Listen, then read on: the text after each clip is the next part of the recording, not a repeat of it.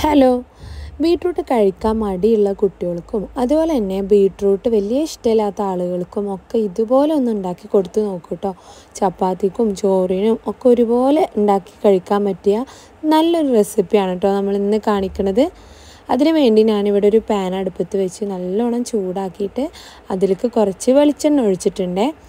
എണ്ണ ഒഴിച്ച് നല്ല ചൂടായി വരുമ്പോൾ അതിലേക്ക് കുറച്ച് കടുകിട്ട് പൊട്ടിച്ച് കുറച്ച് കറിവേപ്പിന്റെ കൂടി ഇട്ട് കൊടുക്കുന്നുണ്ട്.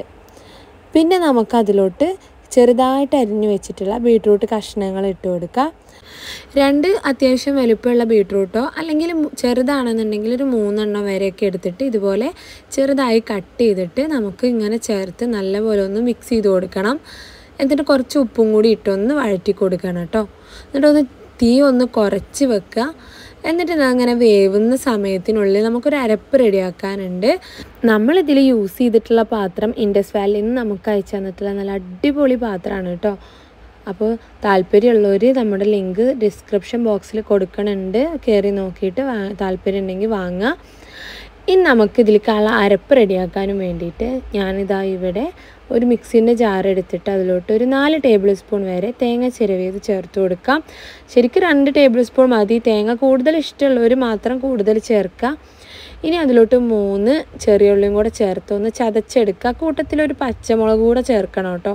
ഞാനത് വിട്ടുപോയി. അപ്പോൾ എന്നാൽ തേങ്ങ അതുപോലെ ചെറിയ ഉള്ളിയും ചേർത്ത് ഒന്ന് ഒതുക്കിയെടുത്തതാണ്. അത് നമുക്ക് ഇതിലോട്ട് ഇട്ട് കൊടുക്കാം.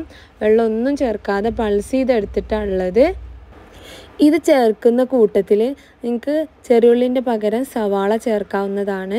പച്ചമുളക് ചേർക്കാത്തതുകൊണ്ട് ഞാൻ പച്ചമുളക് വേറെ ചതച്ചിട്ട് ചേർത്തിട്ടുണ്ട് കേട്ടോ പിന്നെ അതുപോലെ ജീരകത്തിന്റെ ഫ്ലേവർ ഇഷ്ടമുള്ള ആളുകൾ ഉണ്ട് എന്നുണ്ടെങ്കിൽ അതും കൂടെ നിങ്ങൾക്ക് ചേർത്ത് കൊടുക്കാം കേട്ടോ ആ അരക്കുന്ന സമയത്ത് അപ്പോൾ ഇതുപോലെ നമ്മൾ നല്ലോണം ഒന്ന് മിക്സ് ചെയ്ത് നമുക്കിതൊന്ന് അടച്ചു വെച്ച് ഒന്ന് വേവിക്കണം.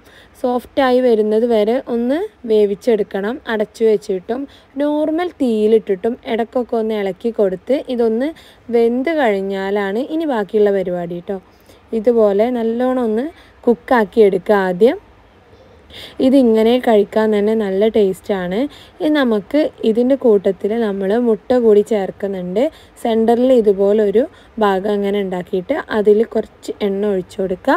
അതിന്റെ സെന്ററിലായിട്ട് നമുക്ക് ഒരു മുട്ട പൊട്ടിച്ചൊഴിക്കാം ശരിക്കും രണ്ട് കോഴിമുട്ട വരെ അല്ലെങ്കിൽ മൂന്ന് മുട്ട വരെയൊക്കെ എടുക്കാം കേട്ടോ. മുട്ട ഇഷ്ടമുള്ളതിനനുസരിച്ച് കൂട്ടിയെടുക്കുക.